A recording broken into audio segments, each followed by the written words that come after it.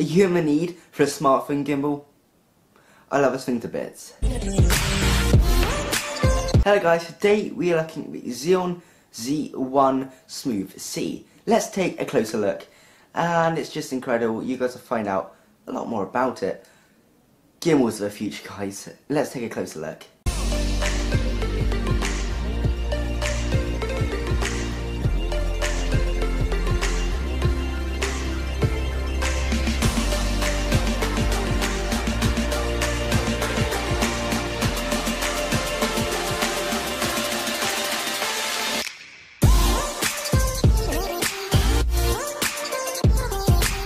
Gimbal is really, really professional. It uses something called the Honeycomb 3.0 system, which is better than optical stabilization, and it reaches an expert level shooting. When you're out in the field with this, when you're using it, it's such a great thing just having your bag as a tool to expert yourself as a filmmaker. It's really, really reliable. It's independent updated motors. There's three motors in this thing to control the three axis, and there's a ton of motor torque, so it's going to keep your phone very, very stable. The Zhiyun Z1 is meant for phones up to 6.5 inches, which is insane. So you can fit like an iPhone 7 Plus in this, or anything, it'll work absolutely fine. That's what I love about this, it's so universal. This thing's really, really light and tiny. I can chuck this in a normal backpack where I'd normally have like this camera and a monopod. I can chuck this in as well, it doesn't take up that much space. It is a professional 3-axis stabilization in here, so that controls the pan, the tilt and the roll axis, so you've got everything covered with this. It is a 5-direction joystick, so you can pan around whilst you're filming, which is great. It basically looks like a tripod, it's that smooth. You guys can see it from the sample footage. You can pan 320 degrees in each direction. I know it's not 360 degrees, but trust me, when you're shooting this thing, 320 degrees is more than enough. I've probably never turned more than probably about 200 degrees while shooting because you're just not going to turn the full circle or most of a circle as this does. It'll fit you fine, trust me.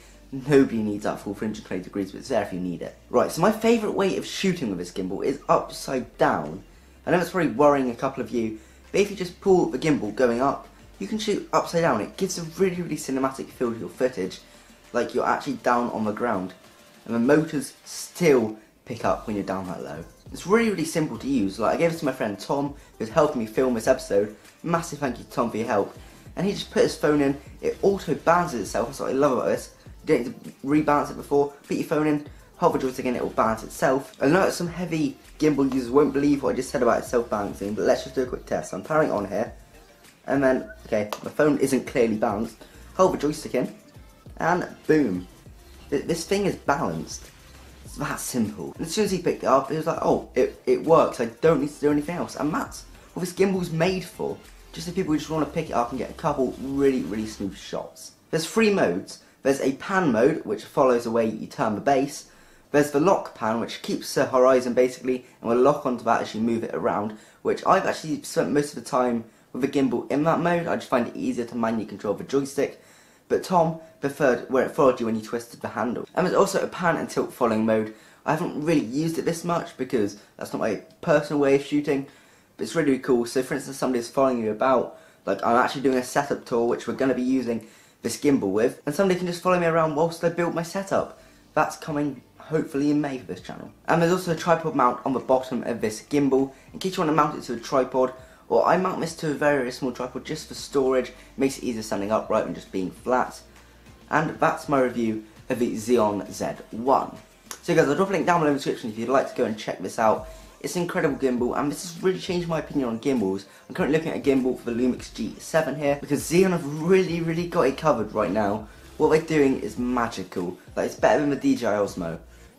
So guys, thank you very much for watching today's video. If you enjoyed it, hit a like rating and find out more about the Zhiyun Z1, the holy grail of the gimbals, in the description down below. My favourite ever piece of tech I've looked at. And it's great for the price, really, if you want to take some more stable smartphone videos. So guys, have a great night, and I'll see you on Friday with a new video. Yeah, uh, just check it out in the description. You'll be mind blown by the price. Bye, guys.